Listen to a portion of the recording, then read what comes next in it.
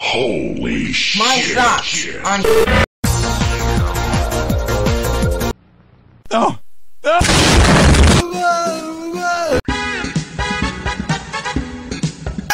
Hedge. This is illegal. Rope.